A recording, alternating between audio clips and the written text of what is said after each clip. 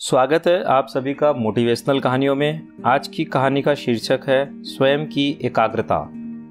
एक लड़का था, बहुत ही होनहार तथा भगवान को मानने वाला। वह हमेशा सुबह जल्दी उठकर नहा धोकर मंदिर जाता था तथा पूरे मन से मंदिर में ध्यान लगाता था। एक दिन यूँ हुआ कि कुछ लोग मंदिर में बैठे थे तथा गपशप कर रहे थे और दूसरे लोगों की बुराई कर रहे थे। उसी समय वह लड़का भी वहाँ चला गया तथा भगवान की आराधना करने लगा। परंतु उन लोगों की वजह से वह एकाग्रचित नहीं हो पा रहा था। उसका ध्यान उनकी बातों पर जा रहा था। ऐसे ही एक दो दिन निकल गए और वह उदास रहने लगा। यह देख उसकी माता ने उसे उसका कारण पूछा। तो वह बोला कि मैं मंदिर में एकाग्रचित नहीं हो पाता, क्योंकि वहाँ बैठे लोग लोगों की चुगली करते हैं और मेरा ध्यान भंग हो जाता है।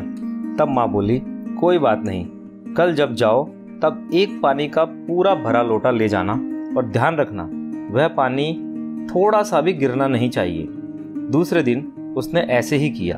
वह पानी का पूरा भरा लोटा लेकर धीरे धीरे मंदिर पहुँचा और लोटा लिए लिए ही सारे काम करके घर आ गया।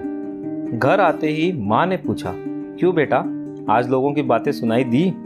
लड़का आश्चर्य से बोला, नहीं माँ, आज तो मेरा पूरा ध्यान लोटे पर था कि कहीं पानी गिर ना जाए। माँ बोली, इसका मतलब लोगों की बुराई तुम्हें परेशान नहीं कर रही थी, बल्कि बातें सुनना तुम्हें परेशान कर रही थी। दोस्तों, इस कहानी से शिक्षा मिलती है कि जब तक हम ध्यान ना दें, हमें कोई भी चीज़ विचलित नहीं कर सकती। जिस चीज़ या बात पर हम ज़्यादा ध्यान देना चालू कर देते हैं, वह बढ़ती चली जाती है, चाहे धन, चाहे दुख, चाहे सुख, चाहे किसी की चुगली। आप पर कोई राज नहीं कर सकता। अगर आप नहीं चाहो तो। यही हमारे साथ होता है। इधर उधर की बातों के कारण हम हमारा सौ प्रतिशत काम में नहीं दे पाते, जिसके कारण काम पूरे नहीं होते और दोस्त लोगों को दिया जाता है। अपने काम से प्रेम करें और अपना सौ प्रतिशत दें। धन्यवाद।